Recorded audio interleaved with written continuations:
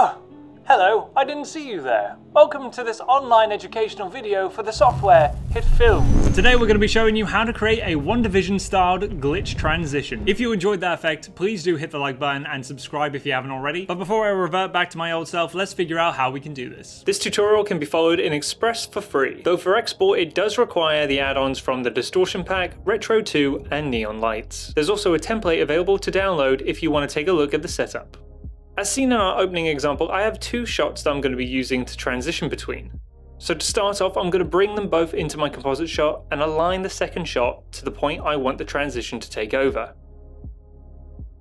I'm happy with the timing, though if I wanted to change these shots for another take, or perhaps some alternative effects, I'd potentially cause myself some problems. To keep things clean and easy, create a composite shot for each of your clips, naming one plate 1 and the other plate 2 or A and B. It just needs to be an indicator of which one is which in the sequence. Now we can alter these as much as we like without affecting the transition. We're going to be needing three separate transition mattes for our effect. Let's get the foundation of them prepped before we do anything else. Go to the new layer icon and create a plane. Be sure to set it to white and name this Matte Reveal. And then hit OK. We're going to be using mask for our reveal. So with the layer selected, head up to the rectangular mask tool and double click. This will create a mask around the whole layer. If we head into the Controls tab and enter the mask's transformation settings, we can animate its path. I want the tear to begin from the center, so I'll switch over to the pen tool and close the mask on the x-axis, and place a keyframe. I'd like this animation to be quite slow. I'll jump ahead about 2 seconds on the timeline and open up the mask. With that done, now let's duplicate this layer. This one will be used for our edges later, so give it a rename. For the moment, turn off the visibility of these two layers and create another white plane layer. You may have guessed, but this is also going to be a matte reveal, this time with an ellipse mask. So we'll click and hold over the mask tools to bring up the options and select ellipse. Double click and the mask is set. Again, we'll go into the mask transformation settings and key the path. First, closed on the x-axis, then, this time only 30 frames later, open the mask to reveal the whole screen. For the transition to be smoother later on, dial up the feathering. With all the foundations set, we can turn each of these into separate composite shots. Right click and go to Make Composite Shot. Keep the original name and make sure to move the mask properties with your layer. Repeat this with the other two. Then jump back to your main composite shot. Let's connect our matte reveal to our first plate. First off, let's move all our transition mattes to align with our second plate and move them under our footage for now. As plate 2 is the one that will reveal itself, we're going to be applying the effects onto this layer. Go to the effects panel and search for set matte. You can find it under the matte enhancements in the keying folder. Change the source layer to our matte reveal, source to luminance, and blend to replace, though it should be already. If you play this on the timeline, you'll have the plate reveal itself as your mask does. This is okay, but we want it to glitch and contain some distortions. Let's jump into our main matte reveal and start distorting. So to warp these edges, we'll be applying various distortion effects which are all found in the distort folder.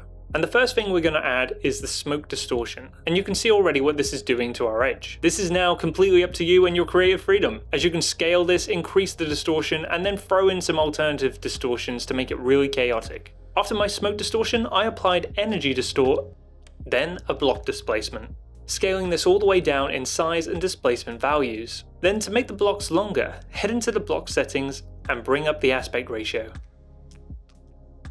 then why not more displacements? This time we can heat things up with a heat distortion. We really want those edges rough. This is looking good, so let's move on to our edges. Now the animation is the same as our other reveal, but in appearance we can make this really crazy. First, let's create our distortion. I'm going to keep this nice and easy with a little smoke distortion, followed by an energy distort. Really dialing up the distortion but lowering the scale to have a high frequency ripple going on. Once you're happy with your effect, duplicate the layer, and apply a fill effect from the gradients and fill dropdown. Now we can set the color to black. We want this to be the inner edge of our tear, so we can give it a rename, then select the layer and position it back only a few frames in the timeline. If we head into our options and switch to the checkerboard background, we can see the white is revealing itself, but the center is solid. Now we're going to remove this black from the other layer with a demult, now, if you applied it straight onto the layer, it just disappears. It's doing what it's meant to do, removing the black. You need to first create a grade layer to compact the two. then apply demult to remove the middle section. I want to try and make these edges a bit thinner. Now I could just readjust the timing, though I don't have much room to play with in terms of frames per second. So as an alternative, head into the matte enhancement folder to apply a erode white. And now we can just bring in these edges. To distort these edges even more and get them glitchy, apply block displacement and like before, scale it all down, widen the aspect ratio to get a nice breaking. And hey, why not throw in another heat distortion on there just to make it less uniform. With all our effects set, let's jump into our main composite shot and tie these together with some effects. Now the show has a TV signal effect that we can try and replicate using VGHS DRes. First off, let's create a grade layer and place it underneath the second plate. You can find DRes in the distort effects. Now you could use all the features in DRes for your own transitions, though all I really want to keep are the wavy lines. So I'll switch the view to wavy lines and then set the matte to our circle reveal. This will cause it to activate first, followed by the glitching tear. This is where you can customize and play with the settings to get something really unique. We can then enter the color settings and alter this to match the reference. I'll take the midtones and shadows towards deep blue, then the highlights into the red. Happy with the tones, switch the blend mode to either add or screen. If it seems a little too intense, apply a curves effect and bring down the midtones. Chromatic aberration is also a great effect to be applied on this layer if you're working in HitFilm Pro.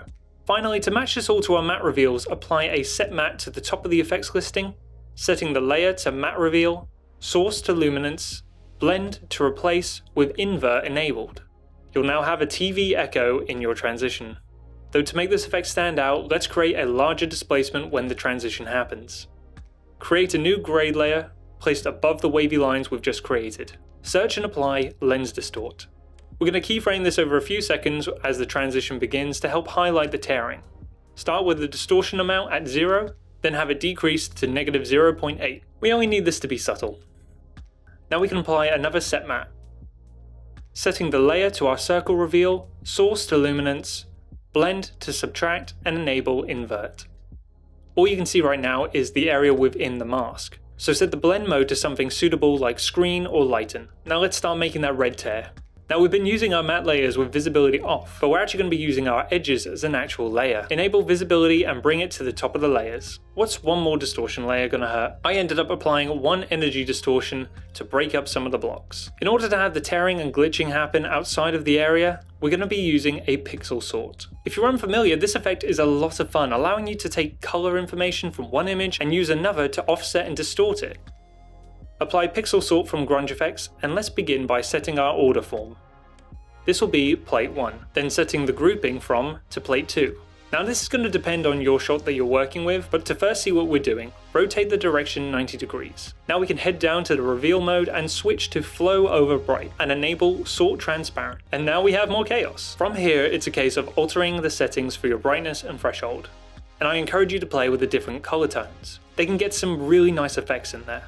To finally change this into a red energy, this can easily be done with the Light Sword Ultra Glow.